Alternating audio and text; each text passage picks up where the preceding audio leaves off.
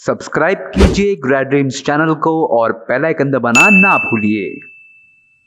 Hello and welcome back to Grade Dreams YouTube channel this is Sanjana here and today we are going to talk about Maynooth university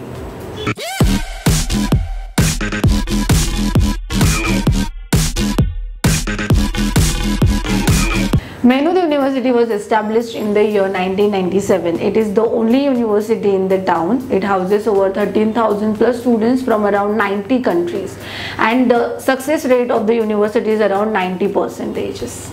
Now let's talk about the ranking. The university ranked at 701 as per the QS ranking and 500 as per the Times Higher Education. Now let's talk about the top bachelor's and master's program. They are as arts, philosophy, engineering, science and technology and computer science. Now let's talk about the application fee and the tuition fee. The application fee for an undergraduate program is around 30 euros and for postgraduate program is around 50 euros. When it comes to the tuition fee, the tuition fee ranges from 7000 euros to 15000 euros. Now let's talk about the scholarship. The university offers various ranges of scholarship to all of the undergraduate and postgraduate students. For more details you can check out the link in the description box below. Now let's talk about the eligibility criteria. The university accepts English proficiency examinations such as IELTS and TOEFL. IELTS score of 7 and TOEFL score of 90 is good to go.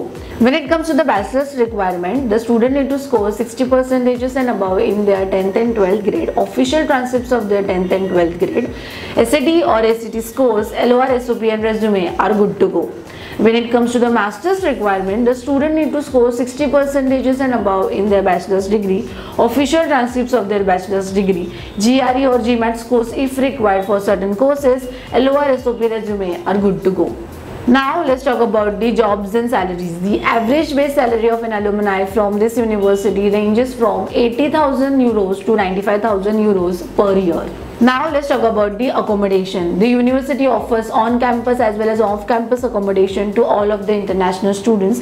The average expenses of the accommodation ranges from 500 euros to 650 euros. For more details you can check out the link in the description box below. So that was it for the video. If you like this video, please like, share and subscribe to our channel. Hit the bell icon for more updates from Grad Dreams.